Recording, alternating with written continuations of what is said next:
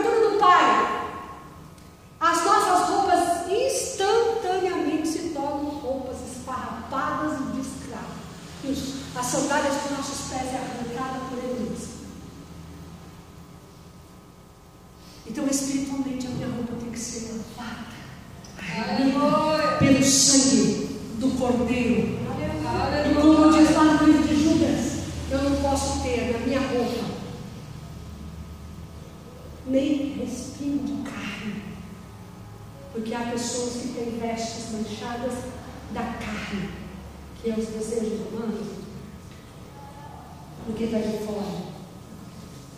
Então ele de volta. Recebe roupas distintas. Aleluia. Anel de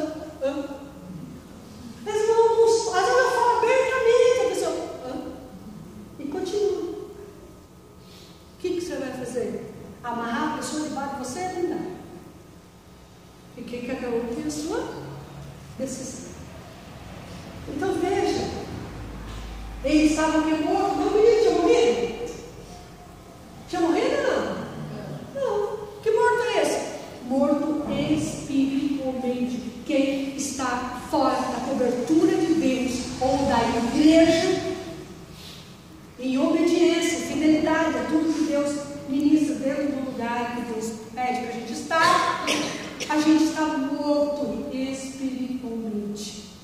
E o pior é que a gente pode morrer mesmo, fisicamente, e não ir para o céu. E Deus está misericórdia, né?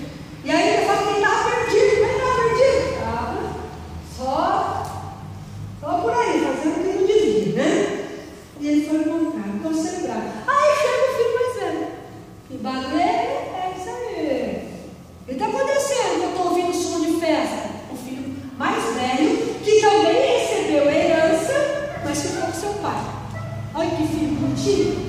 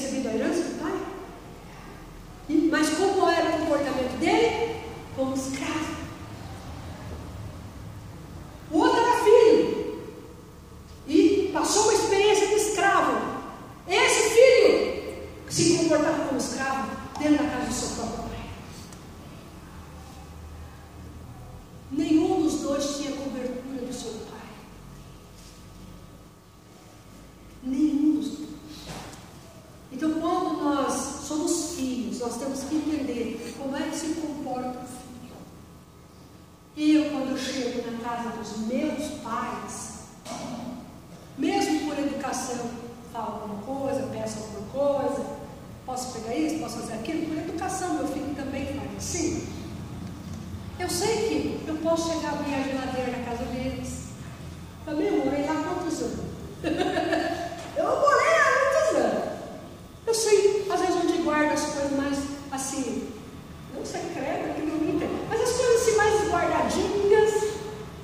exemplo, um, é, um jogo de jantar mais é, bonito, eu sei fica guardadinho, meus irmãos também. Eu sei onde é eu guardo guarda-roupa dos meus pais, se eu quiser abrir para pegar alguma coisa, precisar de alguma coisa, até buscar alguma coisa para eles, se eles pedirem o seu dinheiro.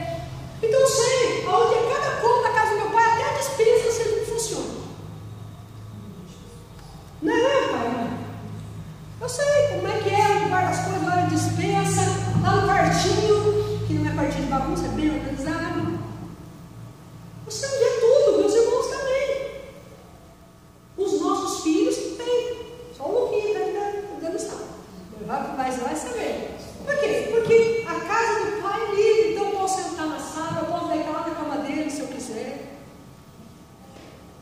É, é a casa do meu pai, a casa da minha mãe. Esse rapaz ele trabalhava como escravo, talvez ele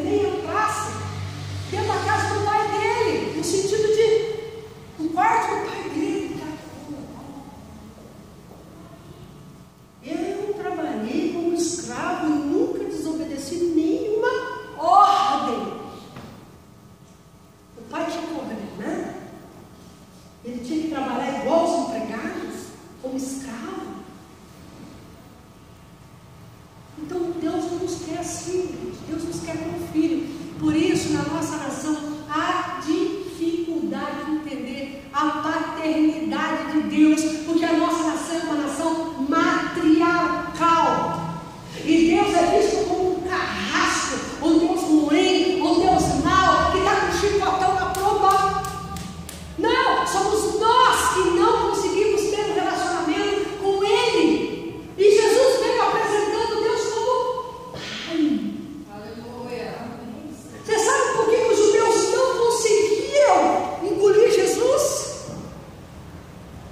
Porque eles achavam absurdo Jesus falando, chamando Deus de Pai.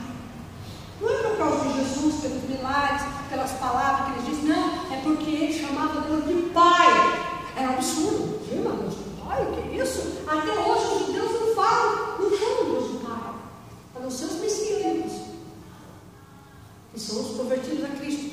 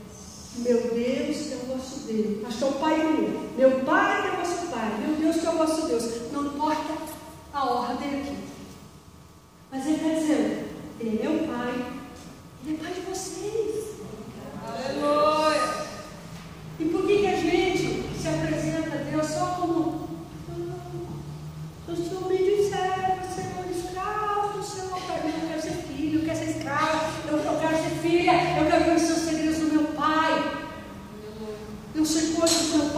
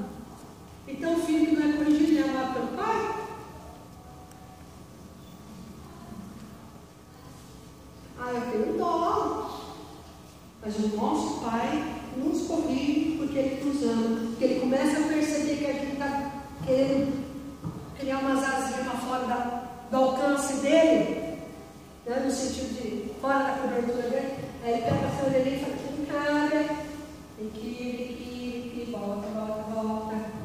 Só que ele não vai arrancar a nossa orelha, porque se a gente tem marido, ele vai deixar. Ele vai deixar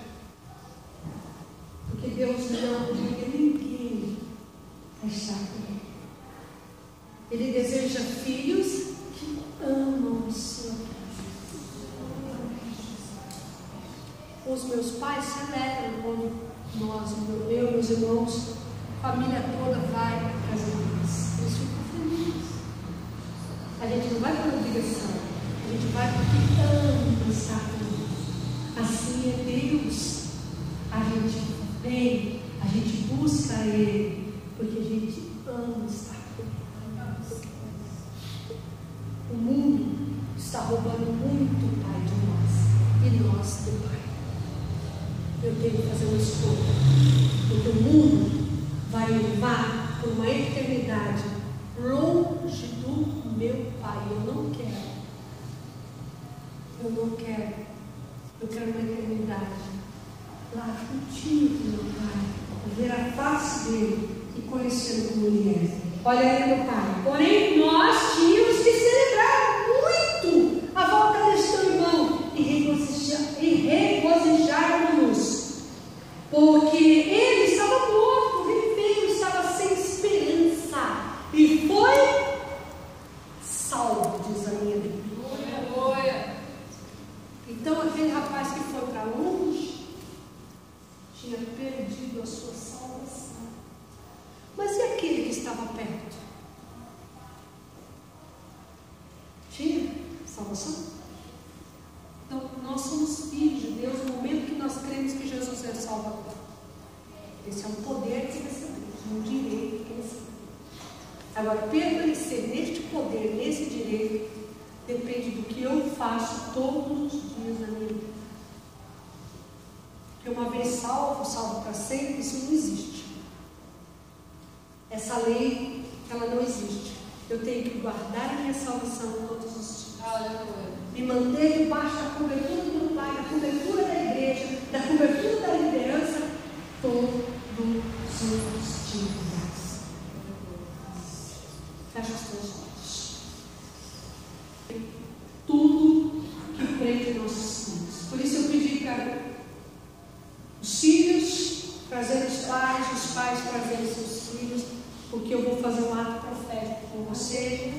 E você vai fazer um ato profético com os seus filhos. Por isso eu insisti tanto para você trazer seus filhos e filhos trazerem seus pais.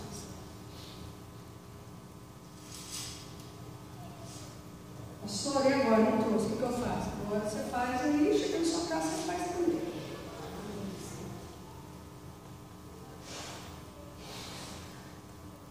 Olha para mim um pouquinho. Entendeu a palavra? Existem filhos que não conseguem fluir nessa terra porque estão travados espiritualmente, porque não estão debaixo da cobertura dos seus pais físicos. Talvez seja, pastor, meu pai já, já foi né, recolhido pelo Senhor. Então você tem eu representando a paternidade de Deus sobre a tua vida, certo? Mas existem muitas pessoas que estão travadas espiritualmente porque os seus pais não lhe dão cobertura espiritual. E estão travadas espiritualmente.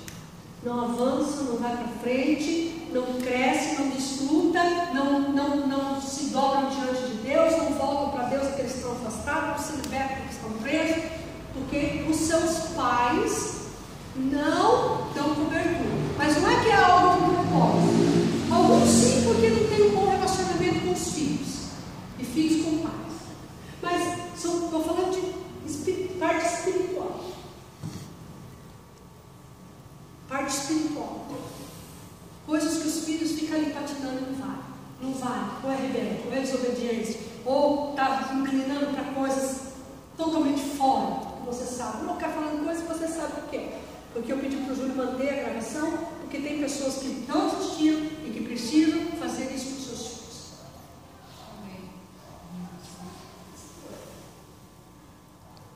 Agora é. Escute.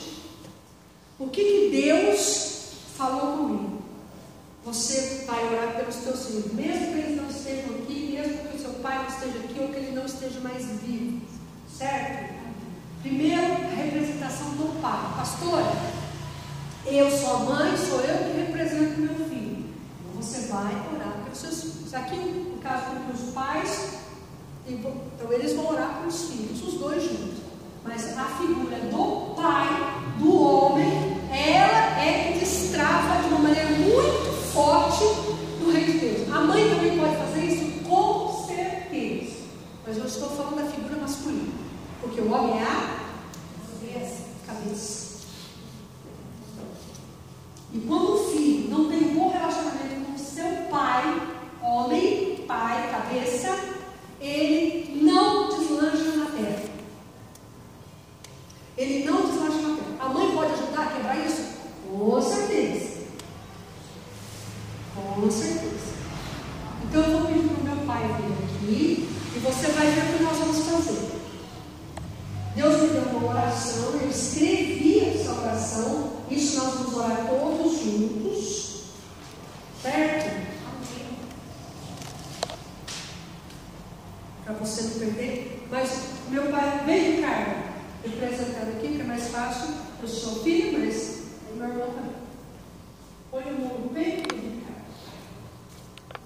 Jesus.